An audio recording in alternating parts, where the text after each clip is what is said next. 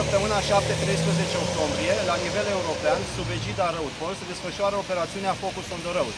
În acest context, polițiștii rutieri din cadrul Inspectoratului de Poliție Județean Satu Mare desfășoară o acțiune ce are ca drept obiectiv creșterea gradului de siguranță rutieră pe drumurile publice.